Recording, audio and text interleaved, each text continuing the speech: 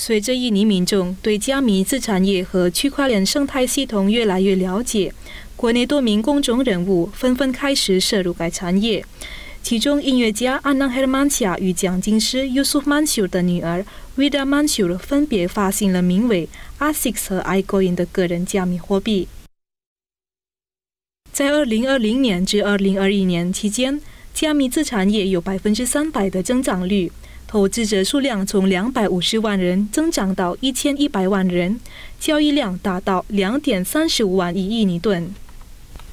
印尼加密资产交易商协会主席德古表示，个人发行加密货币需承担较高的责任，已发行的加密货币需能解决问题且对社会提供利益，比如有只公共区块链平台以太坊能解决全球的区块链问题，所以它具有长期价值。Hal yang simple dan mudah serta murah kalau saya boleh sampaikannya. Tetapi bagaimana memanage dari token tersebut, mempertanggungjawabkannya ke komunitas ya, serta bagaimana dia berkomitmen secara langsung dan uh, berkomitmen dalam jangka waktu yang panjang bahkan selamanya karena kemudian dia adalah orang yang membuat token tersebut maka itu dituntut ya, sebuah apa ya konsisten ya untuk kemudian um, dia benar-benar berusaha ingin menyelesaikan persoalannya. 根据财务规划师 ID 的评估，以拥有强大生态系统的公司如脸书，更具有潜力成功发行加密货币。Kenapa dulu? Kenapa token ini diluncurkan? Itu pertanyaan pertama ya. Terus kedua, uh, use case-nya dipakai untuk apa? Ya kan?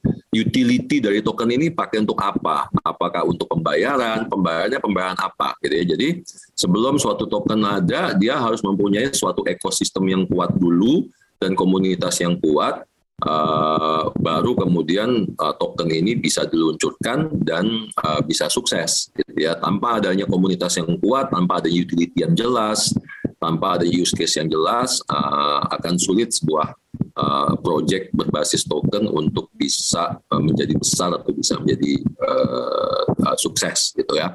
Dan um, justru perusahaan-perusahaan dan ini berbalik arah sekarang justru perusahaan-perusahaan yang sudah punya ekosistem yang besar ya uh, kalau kita mungkin ambil beberapa contoh perusahaan-perusahaan unicorn perusahaan-perusahaan dekakon gitu ya yang mereka memang sudah punya uh, komunitas yang besar, justru uh, mereka malah berpotensi untuk bisa punya token sendiri. 除此之外，专家认为，在没有明确目标与发展的情况下，发行加密货币将会带来风险，并制造诈骗的机遇。因此，呼吁民众要提防加密资产业的趋势。